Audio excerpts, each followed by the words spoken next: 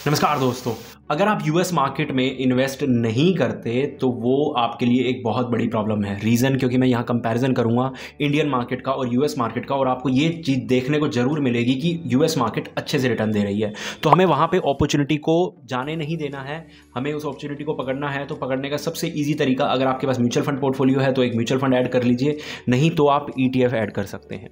ठीक है? तो आप इन दोनों में से कुछ भी ऐड कर सकते हैं और आपको ये जानना है कि बेस्ट म्यूचुअल फंड कौन सा है? अगर मैं यूएस मार्केट में जाना चाहूँ तो मैं सिर्फ़ बेस्ट म्यूचुअल फंड ही नहीं आपके साथ कंपेयर करके दिखाऊँगा यूएस मार्केट का, बल्कि ग्लोबल मार्केट का, जो ओवरऑल सब मार्केट्स में पैसा डाल रहे हैं, उनका भी और साथ ही इंडियन मार्केट का भी कंपैरिजन आपको दिखाऊँगा, ठीक है? तो जिससे आपको ये समझ आ जाएगा कि हम कहाँ पे पीछे रह रहे थे और कहाँ पे हमें चीज़ करनी चाहिए और इन दी एंड जब वो एक बार कंक्लूजन निकल जाएगा, जब मैं आपको सामने रख दूँगा यूएस मार्केट के सारे फंड और आपको पता लगेगा कि हाँ ये फंड अच्छा है, और उसके बाद मैं आपको थोड़ा सा डीप कंपैरिजन भी दिखाऊँगा ताकि आपको ये समझ आ जाए कि यूएस मार्केट इंडियन मार्केट से किस तरह से बेटर परफॉर्म करती है, आई है और आगे भी कर सकती है। तो इस चीज़ को जानने के लिए स्क्रीन पर चलते हैं।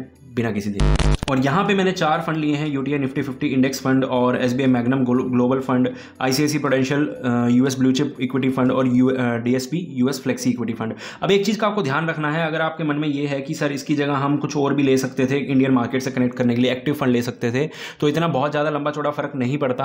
आप हमारी वीडियो जाके देख सकते हैं, जहाँ पे हमने निफ्टी फिफ्टी के इंडेक्स फंड और एक्टिव फंड्स को कंपेयर किया हुआ है। हमने तीन चार वीडियो लगातार डाली थी, इसी टॉपिक पे अलग अलग चीज़ों अलग अलग तरीके से कंपैरिजन करके तो उन वीडियो से आपको काफ़ी ज़्यादा हेल्प मिल जाएगी। आप वो जाके चेकआउट कर सकते हैं। और अब अगर मैं बात करूँ इनकी, चारों की एस बी मैगनम ग्लोबल ये पूरे ग्लोबल में डालता है पैसा, ये यूएस में, और ये थोड़ा सा यूएस फ्लेक्सी ठीक है? अब यहाँ पे अगर मैं बात करूँ तो थोड़ा सा इसका ए ज़रूर कम है, लेकिन उतना ज़्यादा भी कम नहीं है।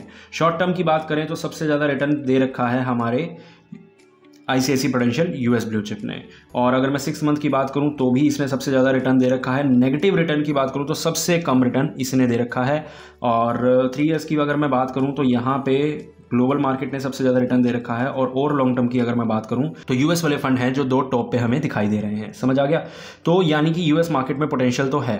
ठीक है? शॉर्ट टर्म में भी हमें रिटर्न देखने को मिले हैं। यहाँ पे टॉप टू में ये रहा है। और अब फ़र्क कितना पड़ेगा। अगर मैं शॉर्ट टर्म की बात करूँ तो इन दोनों के बीच एटी थाउज़ेंड का फ़र्क आ सकता है।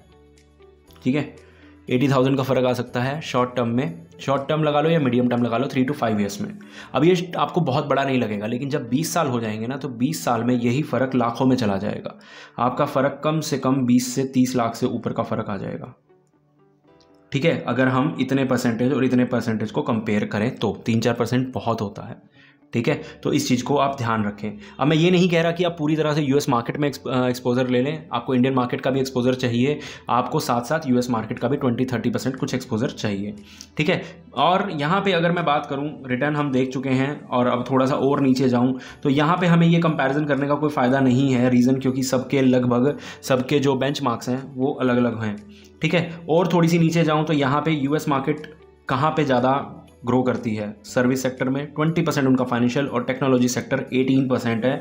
इंडिया में 13 परसेंट टेक्नोलॉजी है और फाइनेंशियल सबसे ऊपर रहता है। सेकंड नंबर पे एनर्जी है। ठीक है? तो ये हल्का सा फ़र्क है और सबसे ज़्यादा एक्सपोजर आपको फेसबुक का मिलेगा इनडायरेक्टली ठीक है? और यहाँ पे ये चार कंपनियाँ और हैं Equifax Mercado Libre and Adobe system ठीक है? ये चार कंपनियाँ हैं जो आपको मिल जाएँगी इनडायरेक्टली कहाँ पे?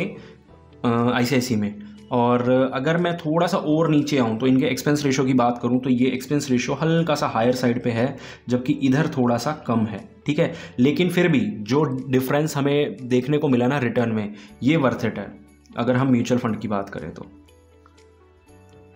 ICIC potential blue chip equity fund worth it है? क्योंकि मैं बहुत बार बोलता हूँ कि आईसीसी की जो एक्सपेंस रेशो है वो काफ़ी ज़्यादा रहते हैं तो हम इग्नोर मार के चलते हैं, लेकिन यहाँ पे ये वर्थ इट है। और सबसे बड़ी बात, आप एसआईपी कर सकते हैं सिर्फ़ हंड्रेड रुपीज़ की।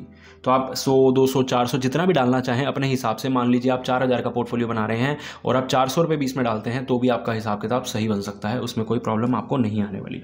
लेकिन अब बात करेंगे डिफरेंस की। देखो, अगर मैं बात करूँ एस निफ्टी फिफ्टी ई की ठीक है? मैं आपको एक ई e भी बताऊँगा वीडियो में आगे, ठीक है? तो वीडियो में बने रहो, आगे आपको एक ई e बताऊँगा।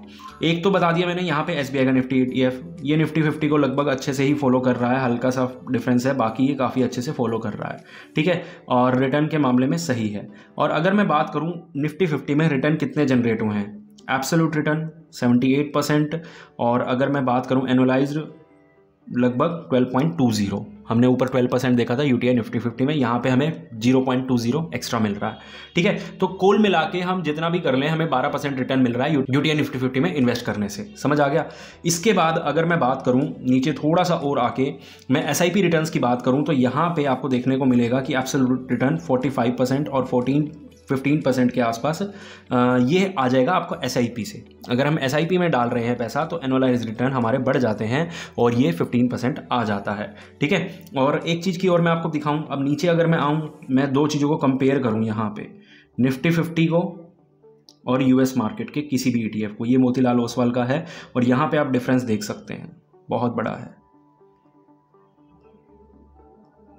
अभी जो ड्रॉप आया, उसकी वजह से ये आगे स्ट्रेट ड्रॉप आपको ऐसे देखने को मिलेगा, ठीक है? और यहाँ पे अगर मैं बात करूँ एब्सोलूट रिटर्न की फाइव ईयर्स की 117 ठीक है? एनुअलाइज्ड 17 परसेंट अभी मैंने आपको दिखाया था, वहाँ पे 12 परसेंट यहाँ पे 17 है। और एसआईपी का रिटर्न अगर मैं बात करूँ तो यहाँ पे लगभग 17.21 जबकि 14 पॉइंट समथिंग आ रहा था। कहाँ पे? निफ्टी फिफ्टी में। तो इस चीज़ का आपको फ़र्क देखने को साफ़ साफ़ मिलेगा ठीक है? टॉप टेन जो आपको अगर आप नेस्डेक हंड्रेड में इन्वेस्ट करते हैं तो आपको टॉप स्टॉक कौन से मिल सकते हैं? मोस्टली uh, जो आपको टॉप के हैं यही मिलेंगे। आपको माइक्रोसॉफ्ट मिल जाएगा एप्पल मिल जाएगा अमेजोन मिल जाएगा अल्फ़ाबेट मिल जाएगा। अल्फ़ाबेट ये दोनों कंपनियाँ अलग अलग हैं। Nvidia corporation Tesla motors Facebook PepsiCo Broadcom ठीक है? तो ये आपको टोटल एक्सपोजर मिल जाएगा टॉप टेन कंपनियों का ठीक है? और होपफुली आपको सब समझ आ गया होगा। इस वीडियो में। और देखो, अगर आप इसके साथ साथ, अब मैंने आपको बता दिया यूएस मार्केट में और रह गया गोल्ड अगर आपको गोल्ड में भी इन्वेस्ट करना है तो क्या क्या तरीके हैं, उसके लिए भी चैनल पे वीडियो है, वो जाके आप देख सकते हैं। मिलते हैं अगली वीडियो पे।